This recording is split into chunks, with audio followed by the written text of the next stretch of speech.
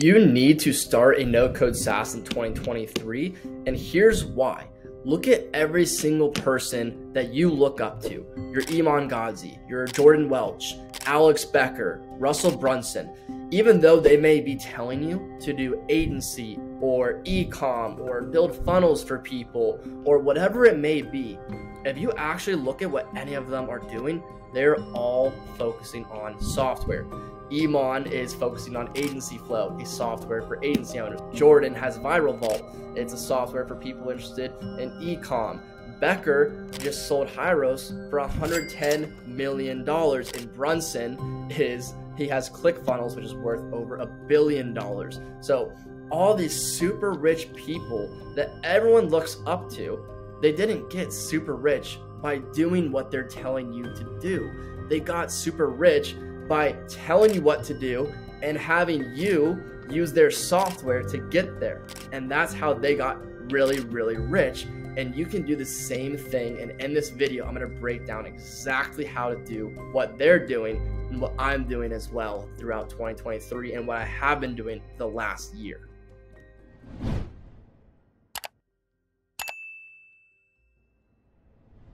The first thing is when you study them, is they were all emerged in a niche before. So Iman has been in the agency space for for forever, for years. So he knew all the problems agency owners face, and so he was easily able to spin up a software company in the agency space. Becker was in media buying; it was easy for him. Brunson was in funnel building, website building, agency, etc. Um, and obviously Jordan was in ecom. So they all were immersed in a niche before they actually went and created their software product. So you're going to have to do something similar. You're going to have to become very, very familiar with a specific niche. You're going to have to figure out what frequent problems do they have? What inconveniences do they have? You have to figure these things out because then you're going to build a software to either solve that problem or to, you know, fix that inconvenience. But what they do that is really, really, really smart is they all sell info products as well, right? Iman Gadzhi sells a course on how to start an agency. Jordan Welch sells a course on how to start an ecom. Uh, I think Alex Becker had a media buying course for a while for YouTube ads.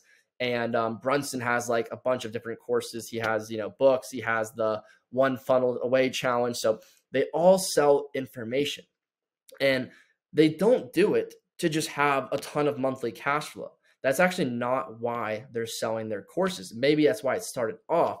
But what their courses or info products actually are is it's a customer list for their softwares. So when you look at it now, and Iman said this openly, he only still sells his course so that way he can push them or funnel the course students to his software company. And so what's really cool about this is not only is he profiting on the course, he's liquidating the lead costs. Normally, if you didn't have an info product, you might be negative on the front end. Let's say you're running ads to your software and you know it's a $20 a month software whatever. And you might have to pay $50 on the front end to acquire a customer and you know be negative on the first month and hope that you make it up in lifetime value. But they're profitable on the acquisition of the lead that they're funneling to the software. And so don't let that go over your head because that's actually insane. So it's making it so easy to scale their software because all they have to do is promote the info. Brunson did this brilliantly, and he's the one that started it all with the one funnel away challenge.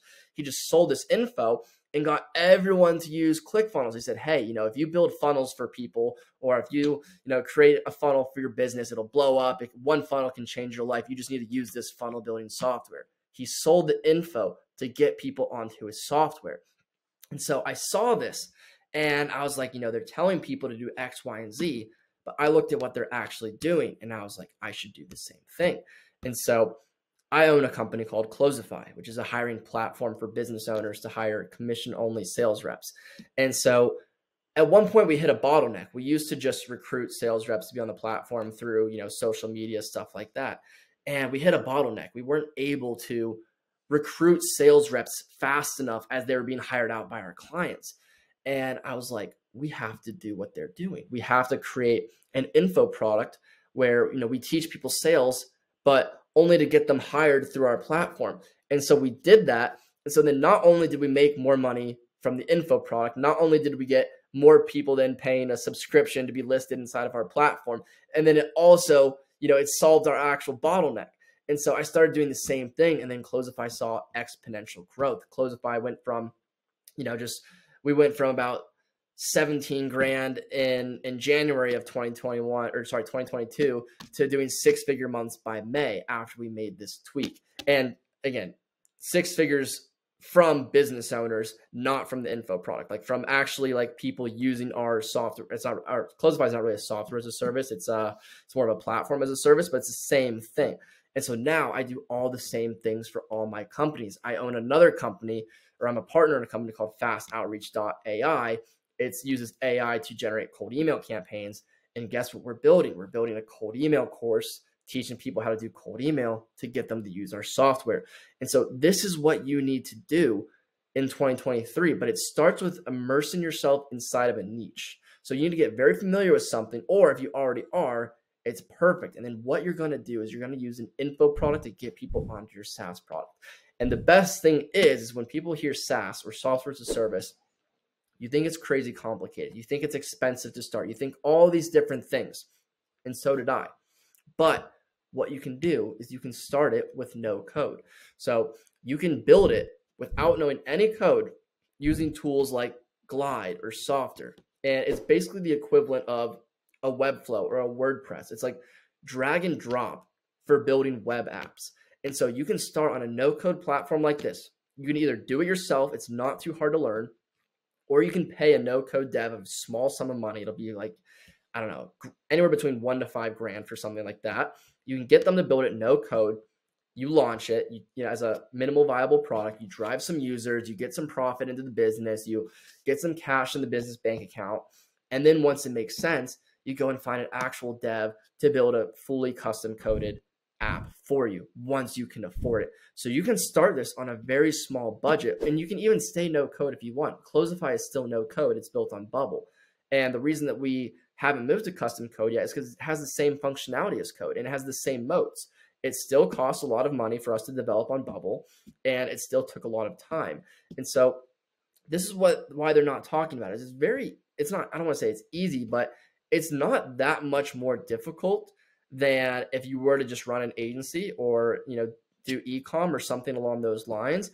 And the benefits are far greater. When you have an agency, you have to deal with all these clients and headaches and you have to fulfill you actually have to fulfill a service with software the software is the fulfillment your margins are going to be higher and most importantly you're creating more equity value a dollar profit of a software company can be sold for five to ten dollars when you go to exit so if you have a company that's doing or a software company that's doing a hundred thousand profit a year you can get close to selling that company for a million dollars probably not um, quite a million right now with current markets in 2021. You definitely could have. But the point is, you're not going to ever get really rich if you just do what these guys are telling you to do. You're not going to get super, super rich with an agency. You can do fine. You can easily get what they what they're telling you. You can get 10, 20, 30, 50 K a month cash flow, live a cool life, etc. You can do the same with ecom, sales, whatever these guys are telling you. But if you're like me and you're someone that wants to get really rich, something that my business partner told me when he first came on board. He's like, you don't get really rich until you exit companies. And so that's what I want. That's what I want my viewers to do.